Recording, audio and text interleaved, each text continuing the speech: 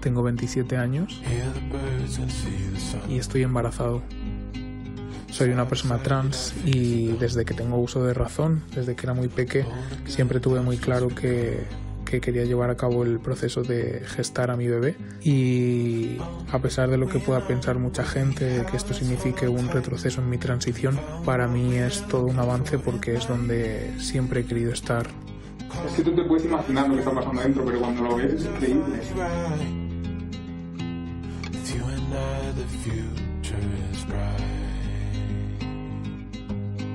Claro, al final que yo lleve a cabo este proceso, yo siempre digo que va contra toda ley escrita en este país, porque no hay nada que regule legalmente que haya una persona inscrita en el registro civil en masculino y que lleve a cabo este proceso.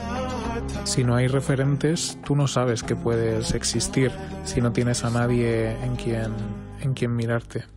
¿Qué os parece, amigos? Esta mujer, porque es lo que es, empecemos dejando las cosas claras, una mujer barbuda, hormonada y embarazada, realizó una entrevista para el programa Viva la Vida presentado por Emma García. Cuando crees que el sexo es algo que puedes elegir libremente, inevitablemente llegamos hasta aquí. Y los medios de comunicación masivos le dan voz porque ahora mismo interesa normalizar todo esto. Tenéis publicada la entrevista completa en la página web de Telecinco. Yo aquí solamente voy a comentar las partes más importantes. A lo largo de la entrevista hay algunas frases que dice la persona entrevistada que quiero comentar aquí. Por ejemplo, dice, a la gente le cuesta entenderlo, encajarlo. Creen que las personas trans odiamos nuestros cuerpos. Esto lo dice porque como no se hecho una mastectomía, no se ha operado porque dice que quiere amamantar al bebé y tampoco ha renunciado a quedarse embarazada, como mujer que es, pues esto les choca a muchos transexuales puesto que ellos al sentir un malestar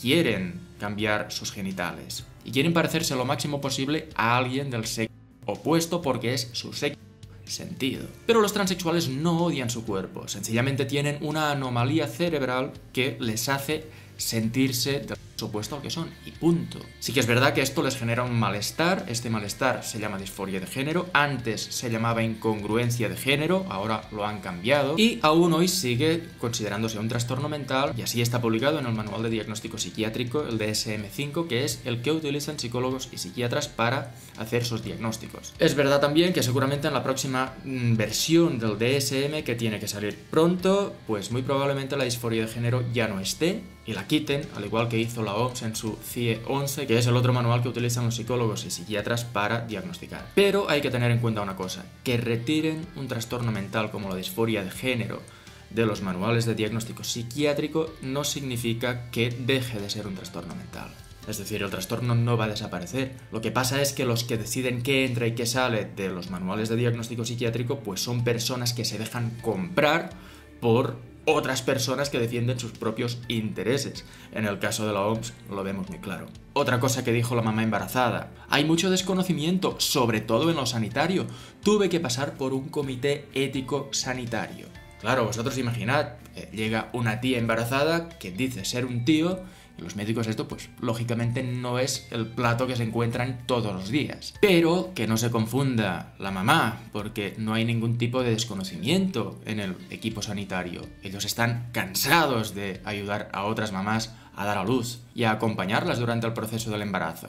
Lo que sí que puede haber es cierto desconocimiento en cuanto a todas las nuevas modas de la ideología de género. Pero es que a ellos lo que les preocupa es la realidad, no las teorías anticientíficas. Los médicos saben perfectamente que eres una mujer y tienen que tratarte como tal porque llevas un bebé dentro. Sí que es verdad que a la hora de referirse a ti en el habla pueden tratarte como a un hombre por una cuestión de educación y para no incomodarte. Pero durante el proceso de acompañamiento del embarazo ellos tienen que tratarte como una mujer porque es lo que eres. Y porque si te tratan como a un hombre pues tendrán que decirte que no estás embarazada. Más que nada porque es imposible que un hombre esté embarazado. Y cuando esta mujer dé a luz su hijo tiene derecho a conocer la verdad. Y la verdad es que su madre tiene barba, se ha hormonado cree quizás ser un hombre, pero no lo es. Es una mujer, ha sido fecundada porque ovula y por eso puede dar a luz. Y si esto no se lo cuentan a su hijo, pues lo que pasará será que cuando vaya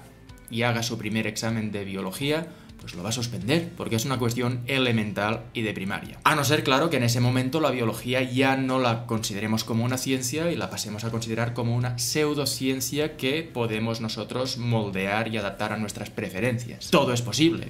Entonces lo que pasará será que se cumplirá otra de las profecías de mi primer single Transfobia. La gravedad será una construcción social.